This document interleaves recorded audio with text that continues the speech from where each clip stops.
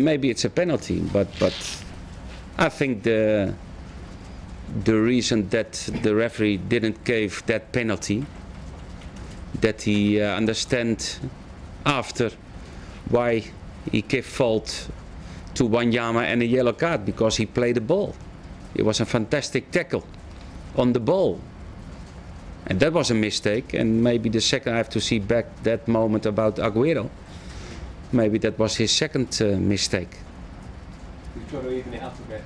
Yeah, but it looks like in the beginning a little bit uh, try to keep it in balance for both teams because if you give the first uh, fault a yellow card, that means a lot for the rest of the game. And and it wasn't a game to give uh, in 20 minutes three yellow cards. In the first half we had a good organization, but but in the attacking way, yeah, it's it's different to to to create that kind of changes. What what we can do against a team or against defenders like Man City, that was not good enough, and and uh, you will punish for that. We knew that before the game, and and they show us that difference today.